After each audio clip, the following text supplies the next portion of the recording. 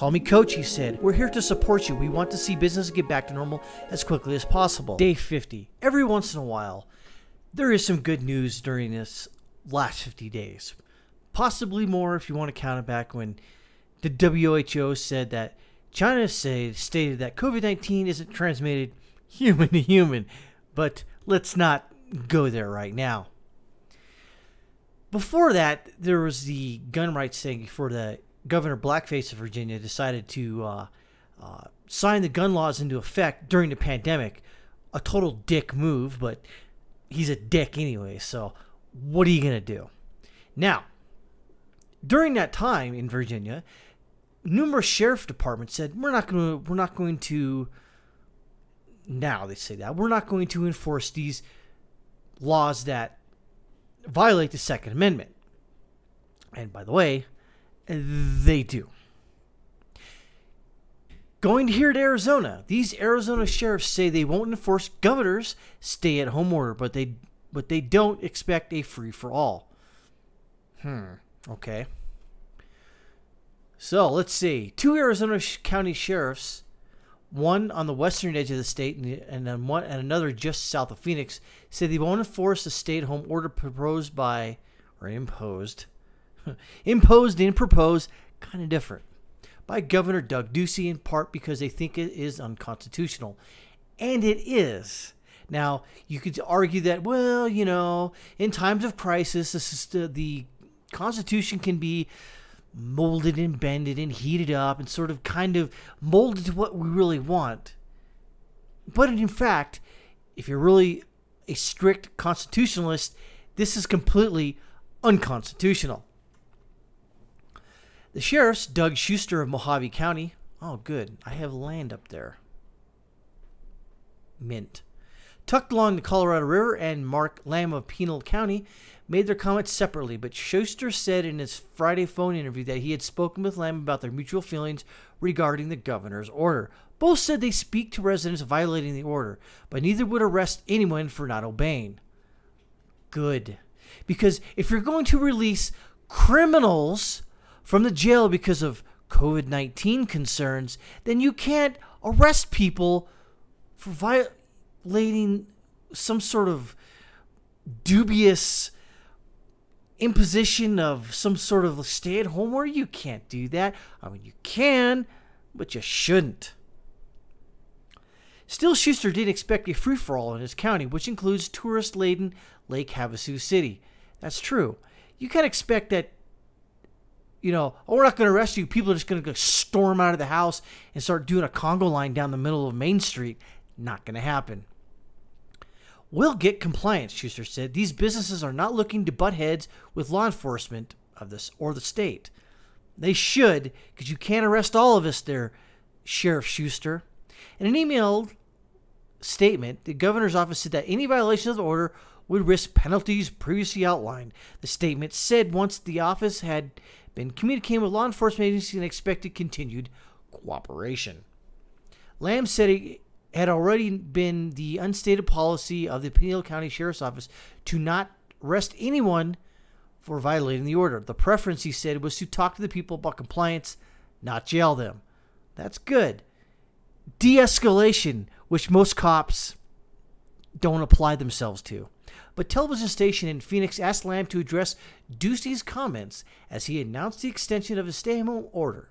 Ducey in response to a question about bars and restaurants that might reopen in defiance of his order. Mentioned a jail term, a fine, and possible loss of a liquor license. What a dick. He better not, if he's a Republican, he should be freaking ashamed of himself. Asked about the KSAZ TV Channel 10 on Thursday, Lamb told the station he didn't wish to arrest anyone. That's good.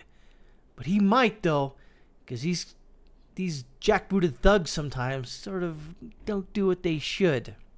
Lamb said in an interview with the Republic on Friday that he felt that he had no choice but to make his unstated policy a stated one. I think people want to know what we're going to support their constitutional rights. I felt Ducey pushed me into a position where I needed to make our stance clear. Thanks.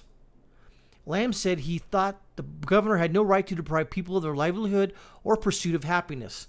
Thank you. He said he would welcome joining a legal challenge to Ducey's orders. Lamb said he also thought, a policy, as a policy measure, the steps to slow the virus spread had gone on long enough. Numbers just don't justify the actions anymore, he said. 300 deaths is not a significant enough number to continue to ruin the economy. Wow, he sounds, um, oh, I don't know, um, pragmatic. As of Friday, the state health department had reported 330 deaths caused by COVID 19, the disease caused by the novel coronavirus. God damn it. The COVID 19 is a novel goddamn coronavirus. Holy crap, AZ Central, get your shit together. Lamb said that he called a few sheriffs Thursday to let them know that he was about to say on television so they would brace himself with similar questions. That's why he spoke with Schuster, who expressed similar reservations about enforcing the order. Social distance in Mohave County. Schuster first expressed his thoughts about Ducey's executive order on Thursday after on a Thursday morning meeting, afternoon meeting on Mohave County Board of Supervisors. He also posted them on his Facebook page on Friday. The words made waves, especially the part about Schuster not wanting his agency to be the social distancing police. okay. Schuster said he was on the phone with reporters much of Friday afternoon, taking him away from his plan to spend the afternoon pulling weeds. Okay gardening. Well, you're the sheriff. The reporters want to talk to you because you said some stuff. You got to talk there, buddy. But Schuster said he didn't intend to defy the governor or speak publicly. But you are defying the governor, kind of. See how they word that correctly? They said, We don't intend to arrest anyone. They don't intend to. But if they get forced to, they will. That's how they get around it by we're not defying the governor's orders. We just don't intend to arrest anybody. Hmm. Maybe my first impression of this uh, this uh, article here was unfounded. Schuster's words came after he dealt with an issue in his county that involved a Lake Havasu restaurant that wanted to have a taco party in its parking lot. Hell yeah, let's have a taco party. The owner of Blondie's Steakhouse, which you probably should support any way possible, a sprawling restaurant adorned with two large cattle heads in the desert just north of Lake Havasu City, had planned a tailgate party of sorts in the parking lot on late April evening. Melissa Lucas, the owner in a letter, was published Thursday in today's News Herald of Lake Havasu City, said he thought that the Taco Cruise Day promotion comported with the law. There are little groups of, of small families eating tacos and didn't mingle with others, she wrote. Good for you, Melissa. Good for you. And if I in Lake Havasu City, you you bet your bottom dollar I'm going to come by. She got crosswise with the county health inspector, she wrote, who summoned a deputy. She said there was talk of her arrest, and she was told no tacos could be eaten in her parking lot. I closed my business over this, Lucas wrote saying the closure was temporary. This whole situation is a disaster, and it was very devastating to me. That's bullcrap. So you can order pizza, you can order food from restaurants, have it delivered to your house, but you can't be in a parking lot where the tacos are served. What fresh hell are you talking about, health inspector? You can sit on this and spin. Garbage people. That situation, Schuster said, got out of control. He said he found it unfortunate that the owner of the restaurant felt she needed to close her doors as a result of the office's response to the call. So next time, Melissa, call Schuster up and say, hey, I'm doing another taco party. I hope some deputy doesn't come out here with some overbearing health inspector being a complete douchebag and close my business down. Let's just hope next time Melissa, that Sheriff Schuster will do that according to his own words. I don't care where anybody eats their food, Schuster said. Thank you. Schuster said on Friday that he still had the power of the badge. If called to a business deemed to be violating the order, he would encourage them to maintain the new public health standards. Call me coach, he said. We're here to support you. We want to see business get back to normal as quickly as possible. You see, I think what he's saying here is I, I preface this, okay? I'm even to preface this. Screw that.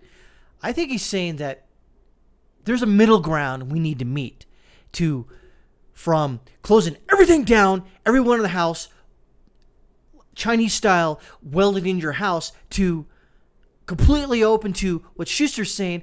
Let's be smart about this. So social distance, wear masks, because we can still go to grocery stores. That's okay. But you have a Taco Tuesday in a parking lot, and that's not okay when people are doing, you know, pretty much a drive through. No, no, no. That's not okay. Mm. I can't believe they pay taxes to that freaking county. Mm-hmm.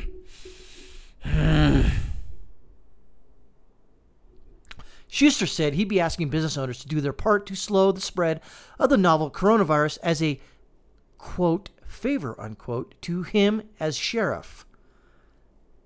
You know, this guy actually seems reasonable. Yeah, he basically is dancing around the words. He doesn't intend to arrest anybody. He wants to be coach. But I understand where he's coming from here. He's actually doing,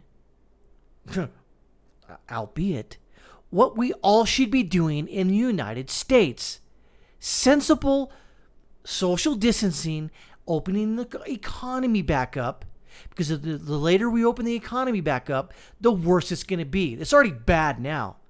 But you keep waiting 30 more days, 60 days, 90 days, it's going to be way worse.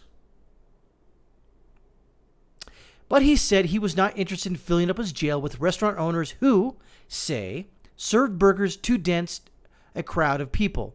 My conscience will not allow me to arrest someone who is trying to make a living he said. I don't believe it is a crime to try to make a living. I, I can't.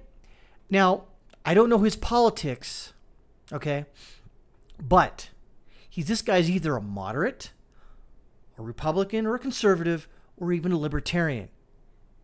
He knows that there are, are laws that you have to obey, even your boss, the governor, states that you got to do. But he's saying that, look, I'm a sheriff. Whatever I see, I could try to. I don't want to fill my jails up with people. You're just trying to make a living, open up their businesses. We don't need governors of other of either political of each side of the political spectrum dictating what you can and can't do during this pandemic because I think I've talked about this earlier. This pandemic, this coronavirus, COVID 19, this is not coming to an end. When, when they open the businesses back up completely, you really think this virus will just disappear? No, it's not. This is going to be another thing, much like the influenza that you got to get a shot for every every year. Every, from now on, for the rest of our lives, you're going to get a shot not only for influenza, but COVID 19 and its offshoots. There's many different offshoots. That's what's going to happen. But people don't, I think, seem to realize that this is going to be around for a long, long time. It's not going to be like polio where it just sort of disappears. You just got to get it. Oh, I got the HIV get a shot and it goes away. No. This is going to be with us for the rest of our lives. So the minute we actually, I dare I say, get back to normal, whatever that is, this is what's going to happen. And I applaud these two sheriffs of Mohave County and Pinal County to not arrest people for trying to make a frickin' living, for God's sakes. How hard is that? I'm going to leave it there. That's day 50 in a nutshell. And I'm going to see you on day 51. And from what I understand, I've got another 30 days of this where I'm at here in the uh, South America. So, whoo, here we go. Day 51 coming tomorrow. I'll see you then.